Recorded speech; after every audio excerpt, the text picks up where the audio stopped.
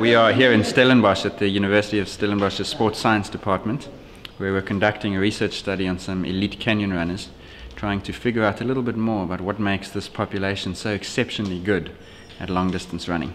So we've got some novel equipment that no one's ever used, certainly in this group. And so we're measuring biomechanics, oxygen levels to the brain, oxygen levels in the body, muscle activation, oxygen consumption, and we're putting them through a couple of tests. One is a 5k time trial, one is a VO2 max test where we make the guy exercise faster, faster, faster until he fails.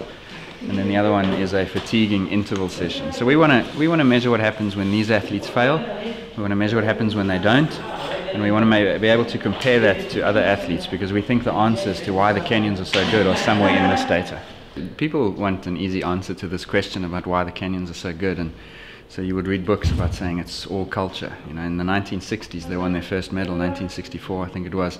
Subsequently, the Kalenjin population, which is a tribe in Kenya, has won as many medals sometimes as the rest of the world combined. It's an extraordinary level of dominance. And so people say it's culture, people say it's the economic incentive, people say it's the altitude that they're born at, the diet, it's all these things, you see. So it's difficult to say there's one thing.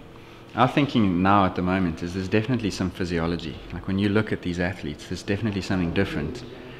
But it's probably not something unique to Kenya. So we can talk about amazing running economy. We can talk about their incredible body types, you know, long, skinny legs, no calf muscles, but that's an advantage for running because they've got these exceptionally long tendons, which are springs that harness energy and convert it into forward movement. So if we find, for example, that the Kenyan athletes, these elite runners, have got some characteristic, let's call it A, that makes them world class, now we need to say, can we identify A in other people?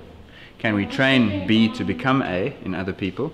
And then that's where the whole field opens up to be able to explore. But you won't know what the training interventions and how to identify talent until you know what the limit is. And this is how you test the limit.